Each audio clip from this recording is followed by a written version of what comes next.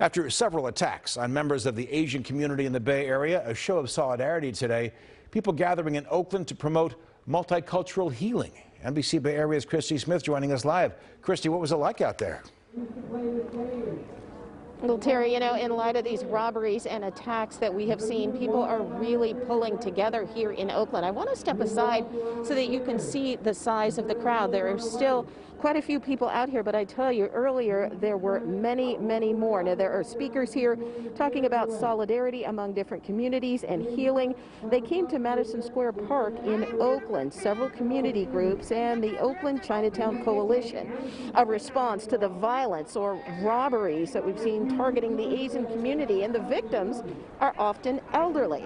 It was a diverse group of people that talked about cross-cultural unity and education, of course, ways to keep the community safe, and culturally competent services, but also making investments to address underlying causes of violence that impact many communities, and keeping a community perspective on public safety. This is a time for us to come to unity um, in this moment because we do need to work together to address what needs to be the long-term community-centered solutions. For no reason at all just to go and hurt people or steal from them and harm them. I can't get used to that. I'll never get used to it. And that's why I'm out.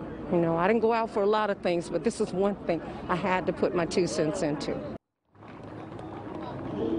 In the meantime, Mayor Schaaf posted on social media that she and Chief Armstrong would restore police liaisons to two of the largest non-English speaking communities in Oakland, Chinatown and Fruitvale. The mayor's office also said that she would push for grants for additional cameras in Chinatown. Now, of course, there were many community-based organizations here uh, in Oakland, but also there were community members from outside Oakland. We spoke with people today from San Francisco, San Jose that said they just mm-hmm. wanted to come here and be a part of it. Reporting live in Oakland, Christie Smith, NBC Bay Area News.